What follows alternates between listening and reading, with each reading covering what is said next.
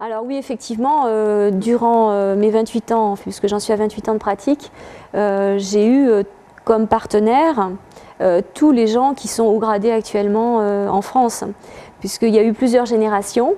et moi, j'ai eu droit à toutes les générations, puisque vu que j'étais aux côtés de Christian, j'ai pratiqué avec tous ceux qui sont qui sont actuellement professeurs euh, aux quatre coins de la France, euh, qui sont euh, des hauts gradés, qui ont des postes au niveau de la fédération, et puis ceux qui ne le sont pas encore et que je, que je côtoie encore, la nouvelle génération, quoi, la dernière, qui sont encore avec Christian actuellement. Moi, je les connais tous, forcément. Donc ma progression s'est faite en même temps qu'eux. On on s'est servi de partenaires les uns les autres.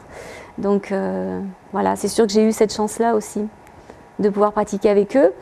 Euh, à l'époque, les entraînements euh, de Christian, c'était. Euh, Christian avait plusieurs dojos quand on est rentré du Japon. Il n'avait pas que Vincennes. D'abord parce que financièrement, on avait besoin aussi d'avoir plusieurs dojos. Donc on faisait au moins 3 à 4 heures d'aïkido par jour dans différents dojos, plus tous les week-ends, pratiquement tous les week-ends, on partait en stage.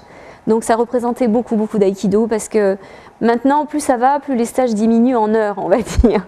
Je ne sais pas si c'est les gens qui deviennent plus feignants, je pense pas. Je crois que c'est le système. Peut-être que maintenant on en fait moins, mais que c'est plus euh, concentré.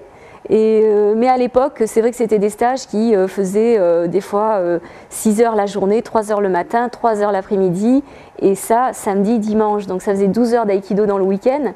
C'était énorme, quoi, c'était énorme. Et ça pratiquement tous les week-ends. Donc on peut dire que j'ai mangé beaucoup, beaucoup d'aïkido.